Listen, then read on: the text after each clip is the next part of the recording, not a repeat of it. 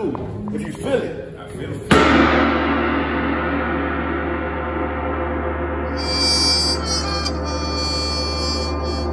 And then the spirit took over and they had you do this. And then it created like an open arms kind of move.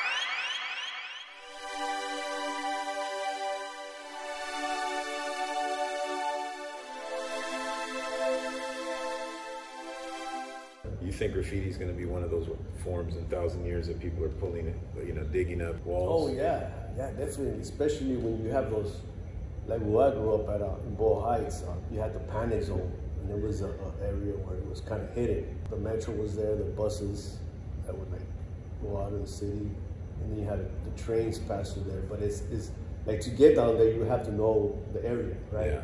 So I always thought about that. If there was an earthquake that was to go down, I think these walls are to survive. Tomb.